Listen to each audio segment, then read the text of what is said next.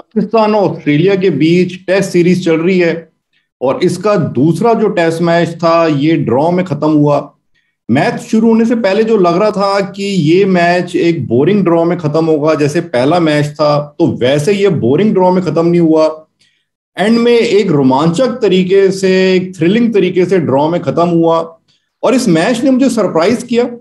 जिस तरीके से ऑस्ट्रेलिया ने पहली इनिंग में बहुत बड़ा ये स्कोर मारा था, साढ़े पाँच सौ का तो मैं यही एक्सपेक्ट कर रहा था कि अब ऑस्ट्रेलिया जीत जाएगी और जब पाकिस्तान पहली इनिंग में बिल्कुल फेल हो गई थी इनकी बैटिंग और डेढ़ सौ रन भी नहीं बना पाए थे तो मैंने तो अपने चैनल पर बोल भी दिया था। प्रिडिक्शन भी कर दी थी कि ऑस्ट्रेलिया ये मैच जीतने वाली है और मैं एक्सपेक्ट कर रहा था ऑस्ट्रेलिया जीत जाएगी। पर यहाँ पाकिस्तान की टीम ने, इनकी बैटिंग ने मुझे सरप्राइज़ किया और ये ड्रॉ कराने में कामयाब रहे। बाबर आज़म ने कैप्टन नॉक खेली। बहुत ही ज़बरदस्त ये जो इसने ऑलमोस्ट डबल सेंचुरी मार दी, थोड़े कुछ रनों से रह गया, और मोहम्मद रिजवान की भी सेंचुरी और, वाकई ये बढ़िया इनिंग थी, और मैं आपको सही बताऊँ तो मेरे को पाकिस्तान की तारीफ़ करने में बिल्कुल मज़ा नहीं आता। मैं पाकिस्तान को दुश्मन देश मानता हूँ, पर साथ ही अपने चैनल पे मेरे अपने कुछ उसूल भी है कि अगर कोई टीम कोई प्लेयर अच्छा खेल दिखाए तो एक ये खेल है तो उसके नाते तारीफ़ भी बनती है और यहाँ पर मैं सोच रहा था इनकी परफॉर्मेंस के बारे में। तो एक तरह से मुझे मजबूर कर दिया है कि तारीफ़ करने के लिए क्योंकि मुझे काफ़ी इंप्रेसिव लगी। जो परफॉर्मेंस थी, बाबर आज़म की और रिजवान की भी। डे फोर और डे फाइव इस पे मुश्किल होता है बैटिंग करना और मैच बचाना और खास तौर से जब आप पहले इनिंग में इतना कम स्कोर मार के, इतना पीछे रह जाओ।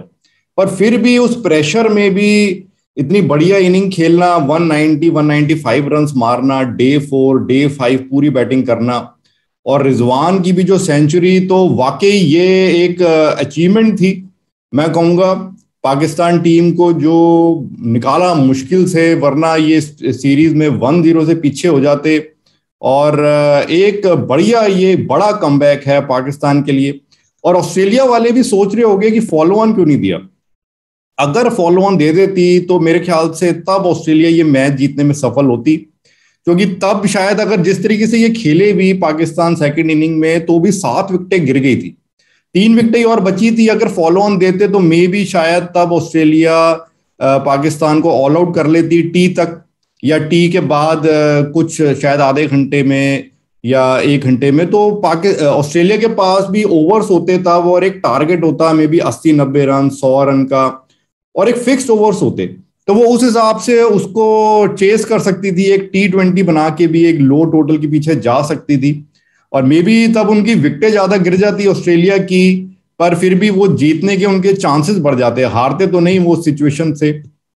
पर मुझे लगता है ऑस्ट्रेलिया, जब से ये इंडिया में एक बार आके फॉलो ऑन दे के हारी थी तो तब से ये डर गए है आपको अगर ध्यान हो, जब राहुल द्रविड और वीवीएस लक्ष्मण, इंडिया के दो लेजेंड्स ने ज़बरदस्त जो पारी खेली थी वीवीएस लक्ष्मण ने 280 रन की पारी खेली थी और द्रविड ने भी बहुत बड़ी सेंचुरी मारी थी, तब इंडिया वन ज़ीरो से पीछे थी सीरीज़ में और फॉलो ऑन हो गया था सेकंड मैच में।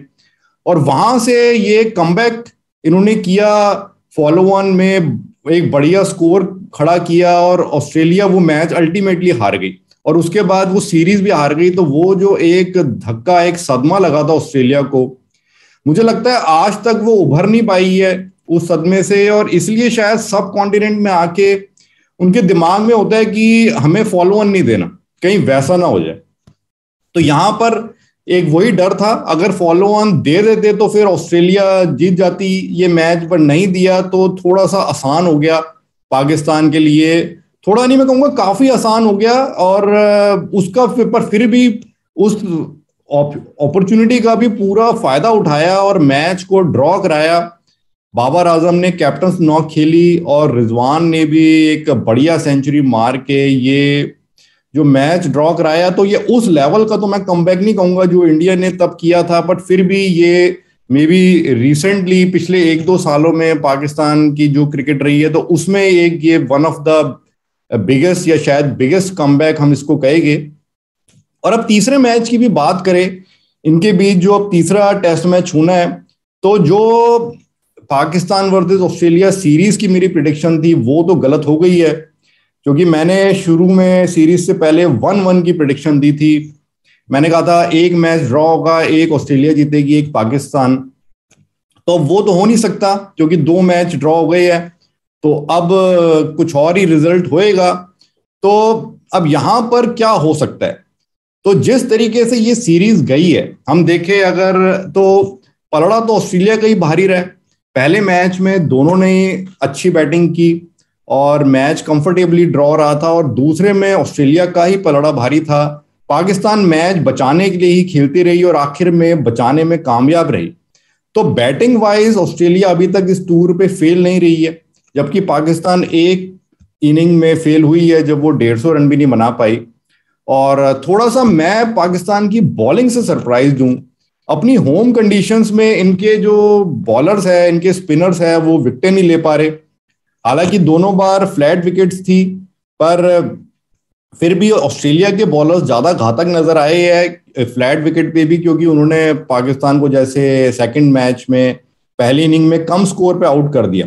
बैटिंग भी ज़्यादा रिलायबल लग रही है। उस्मान ख्वाजा की फॉर्म आप देखिए, वो तो बिल्कुल ही एक रन मशीन बना हुआ है। लगता है कि इतनी लेट जो उसे अब मौके मिल रहे हैं, वो वो शायद ऑलमोस्ट थर्टी फाइव ईयर्स का हो गया है। तो पूरी वो अच्छे से कसर निकाल रहा है। उस्मान ख्वाजा और बाकी भी इनकी लाइनअप बड़ी स्ट्रांग लग रही है। Warner Labuschagne Smith Travis Head Travis Head ने अभी तक खास नहीं मारे है, पर वो भी बढ़िया प्लेयर है। तो मे भी हो सकता है कि जो रनों की भूख है, वो तीसरे मैच में निकल के आए। इसके बाद एलेक्स कैरे को मौका इन्होंने दिया है, वो भी अच्छे रन मार रहा है कैमरन ग्रीन भी। तो ऑस्ट्रेलिया की बैटिंग डेफिनेटली थोड़ी सी ज़्यादा स्ट्रांग नज़र आ रही है, पाकिस्तान के सामने ज़्यादा रिलायबल नज़र आ रही है और बैटिंग और बॉलिंग भी। तो तीसरे मैच में भी अब या तो पाकिस्तान एक फिर से फ्लैट विकेट ही बनाएगी कि हम मैच हारे ना, जो थोड़ा सा ये डर दिखा रही है पूरी सीरीज़ में। और उस एंगल से देखें तो फिर तो अगेन ये मैच ड्रॉ होता ही नज़र आ रहा है कि तीसरा भी फिर ड्रॉ होगा। या शायद ऑस्ट्रेलिया इसको जीत पाए, पाकिस्तान को तो मुश्किल ही लग रहा है। और एक और ये हो सकता है कि अब की बार पाकिस्तान कुछ सरप्राइज़ दे मे बी टर्निंग ट्रैक बना दे, जो पहले दो मैचेस में नहीं बनाया। तो शायद इनको डर होगा कि अगर शुरू से टर्निंग ट्रैक बना दे तो ऑस्ट्रेलिया कहीं ज़्यादा मैचेस ना जीत जाए। तो आखिरी मैच में गैम्बल भी ले सकते हैं कि अब देख लेते हैं अब देखा जाएगा कौन वन ज़ीरो से जीतता है। सो so, ये कुछ भी हो सकता है ये मैं भी इस बारे में इतना श्योर नहीं हूँ कि ये फ्लैट विकेट देते हैं या टर्निंग ट्रैक बनाते हैं क्योंकि पाकिस्तान के केस में थोड़ा सा अनप्रिडिक्टेबल रहता है मामला। पहले से आप नहीं कह सकते कि ऐसे ही होगा या ये बिल्कुल फिर से फ्लैट विकेट ही बनाएँगे टर्निंग ट्रैक भी बना सकते हैं। जिसपे एक रिज़ल्ट आए पर उसमें भी मेरे को लग रहा है कि ऑस्ट्रेलिया की बैटिंग अच्छी है स्ट्रांग है, और उनके पास भी नेथन लायन है, और पिछले मैच में स्वेप्सन को भी खिलाया था तो टर्निंग ट्रैक होगा तो फिर से वो दो स्पिनर्स खिलाएँगे।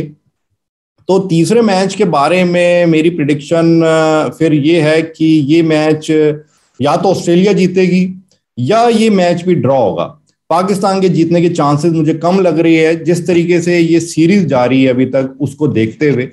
So that is my prediction about the third ODI third test match now तो देखते हैं कि ये आखिरी मैच कैसे रहता है।